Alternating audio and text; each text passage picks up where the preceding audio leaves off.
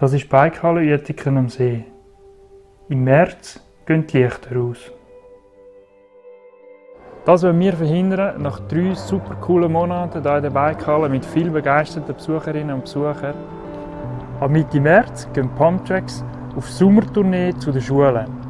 Dadurch wird die Halle zur Hälfte geleert sein. Und diese Fläche wollen wir wieder attraktiv nutzen. Das grosse Interesse der regionalen Bevölkerung motiviert uns, die Halle in einen Ganzjahresbetrieb zu überführen.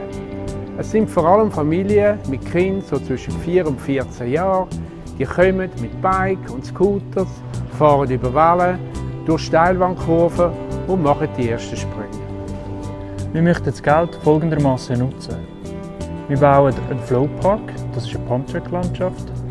Dann erweitern wir die Sprünge der bestehenden Tableline erweitern und wir machen mehr Skills für die Scooter und die Skater.